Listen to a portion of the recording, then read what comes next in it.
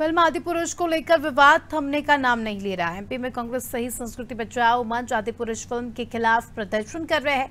नाराज़ हिंदुवादी संगठनों ने ऐलान किया है कि मनोज मुंतशिर की एमपी में एंट्री पर उन्होंने जूतों की माला पहनाकर गधे पर उन्हें घुमाया जाएगा। संस्कृति बचाओ मंच ने सनातन धर्मियों से फटे जूतों की माला तैयार रखने को कहा।